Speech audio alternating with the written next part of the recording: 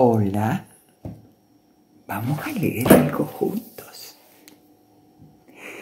Es el arte de los confines. Lo escribió Liliana Bodoc. Y todas las ilustraciones las hizo Gonzalo Kemi. Kemi vive en San Rafael. Empezamos.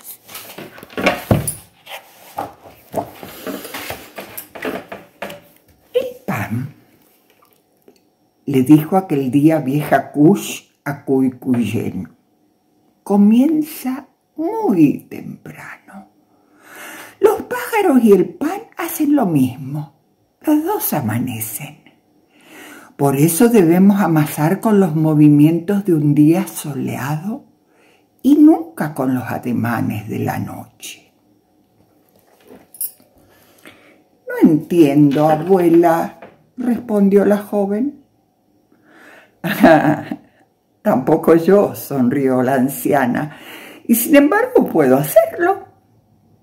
¿Me dejarás amasar? Eso quiero que hagas. Culcuyen dispuso la harina de maíz sobre una fuente de barro. Dale forma redonda, advirtió Kush, para que el pan nunca se acabe. La joven lo hizo. Ahora el agua. El cántaro resbaló de la mano de la joven que chasqueó la lengua con fastidio. Si te enojas el pan se pondrá agrio. Amasaba Cuicuyén, mezclaba el agua y la harina cuando sus ojos se fueron detrás de un pensamiento. Si tú te distraes, también lo hará el pan. Después, el pan salió dorado de entre las cenizas.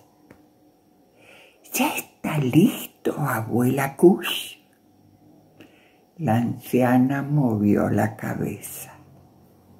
Eso solo ocurrirá a la hora de repartir.